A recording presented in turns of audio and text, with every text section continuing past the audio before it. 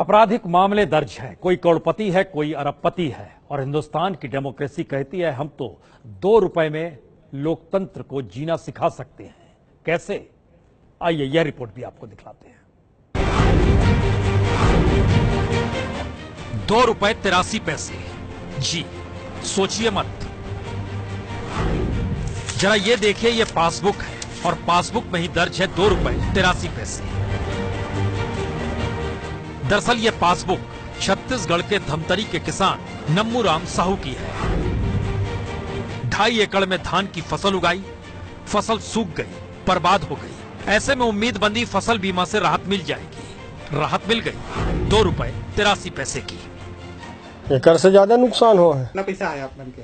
दो रुपया है। अब एला एंट्री कराओ तब पता लगी। अब किसान नरोत्तम से भी मिल लीजिए। इन्हें भी मुआवजा मिला है। ये भाग्यशाली है। इन्हें दो रूपए तिरासी पैसे नहीं, सत्तर रूपए बारह पैसे मिले हैं। मोबाइल पर बार बार मैसेज देखते हैं नरोत्तम और सोचते हैं, फ़सल बीमा कराया ही क्यों? तो छत्तीसगढ़ के धमतरी से अलग, बिलासपुर के इन किसानों से भी मिल लीजिए। किसी को मुआवजे में एक रुपए इकसठ पैसे मिले हैं तो किसी को एक रुपए इक्यानवे पैसे। सरकार हर बेवकूफ़ बनाते और मुआवजा के नाम पर एक रुपया, दो रुपया, कभी दस रुपया, पचास रुपया दे दे, कोई किसान लोग मुआवजा नहीं देते। तो फ़सल बीमा का छत्तीसगढ़ में हाल ये है कि यहाँ पर हथेली में चवन्नी उछाल दीजिए, उससे भी कम फ़सल बीमा की रकम आती है। तो ऐसे में हर मौके बेमौके पर मुख्यमंत्री रमन सिंह से लेकर प्रधानमंत्री नरेंद्र मोदी तक जब ये दावा करते हैं कि फ़सल बीमा है तो किसान घबराए ना, और जब फ़सल बीमा की रकम आती है तो किसान को दिल का दौरा न पड़ जाए, ये सोचने लगता है उसका परिवार है। लेकिन इन सबसे इतर पहले बात तो प्रधानमंत्री की सुनते हुए चलिए। प्रधानमंत्री फ़सल बीमा योजना में इतने कम समय में पौने छह करोड़ किसान इसके साथ जुड़ गए हैं। और अब सोचना शुरू कीजिए इस दावे का मतलब क्या है? क्या खुला मज़ाक हो रहा है? धमतरी में 8,722 किसानों के बैंक खातों में मुआवजे की राशि जमा कराई गई।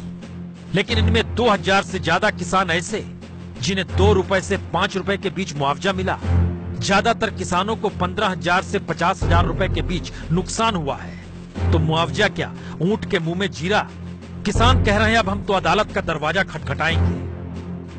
कि किसी किसान को बीस रुपये का बीमा का राशि मिला किसी को सौ मिला किसी को दो सौ मिला है। कंपनी किसानों के साथ धोखा कर रहा है। इस कंपनी के लिए हम कानून का दरवाज़ा खटखटाएँगे। सवाल कई है। फ़सल बीमा योजना फ़सल खराब होने की स्थिति में किसानों की मदद करती है। और मदद अगर इस रूप में आती है तो क्या ये कहा जाए नौकरशाही ने बीच में जेब भर ली? या फिर ये कहा जाए कि करप्शन इस हद तक है कि फ़सल बीमा सफल ही ना हो, इसीलिए भरोसा टूटने लगा है। तो Centre for Science and Environment की 2017 की अब रिपोर्ट देख लीजिए। इस रिपोर्ट में 2017-18 में योजना के तहत आने वाले रकबे की कमी दर्ज की गई है। यानी किसानों को फ़सल बीमा से भरोसा डिगने लगा है। बैंक से कर्ज लेते ही किसानों का प्रीमियम कट जाता है। अलबत्ता मुआवजा मिलता नहीं और उन्हें समझ नहीं आता, गड़बड़ी क्या हो गई? या फिर राजनीति ही चलती है? बोलते हैं कि आपका फ़सल खराब होगा तो आपको बीमा का पूरा राशि दिया जाएगा। लेकिन आज तक किसी किसानों को नहीं मिला। और अभी सूखा राहत के नाम से बीमा मिला है तो किसी के एक रुपया किसी को दो रुपया। हाँ बैंक के अधिकारी से और कृषि विभाग के अधिकारी से चर्चा की है हमने। गड़बड़ी हुई है उसकी जाँच करेंगे।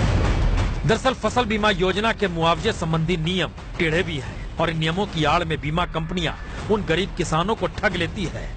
जिन्हें भरोसा होता है कि उनका मसीहा या तो रायपुर में बैठा है या फिर दिल्ली में। पर मसीहा तो अधिकारी होते हैं, जो कहीं बीमा कंपनियों में बैठे हैं या फिर कहीं बैंक में। और इन मसीहा को कोई टोकता नहीं। छत्तीसगढ़ के कटोरे में धान भरने वाला किसान आज फ़सल बीमा के नाम पर दो और चार रुपए का भुगतान लेने के लिए मजबूर है। सरकार दावा करती है कि किसानों के आय को दोगुना करेगी। लेकिन जब किसानों के हक की बात आती है तो उनके साथ बड़ा मज़ाक किया जाता है। ये है एबीपी न्यूज़ आपको रखे आगे।